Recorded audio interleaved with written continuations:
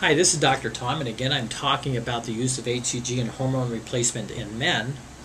Uh, I had talked about primary hypogonadism and secondary hypogonadism, and of course there is tertiary hypogonadism, and usually this is due to different types of medications that can cause this.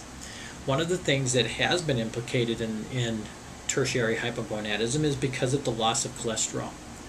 Cholesterol production is important in producing hormones, especially the androgens such as estrogen, testosterone, are just two examples of what comes from the cholesterol molecule.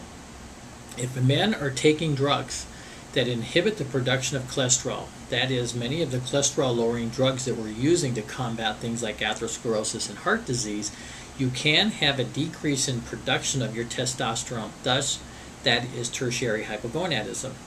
The treatment is obviously would be to try to remove these type of substances and also to determine if you can increase testosterone production by again doing a challenge test as I have described before, either with HCG or compounded, you can use uh, clomiphene or um, uh, Clomid to do a test for stimulation of men's ovaries to see if they have primary or secondary hypogonadism.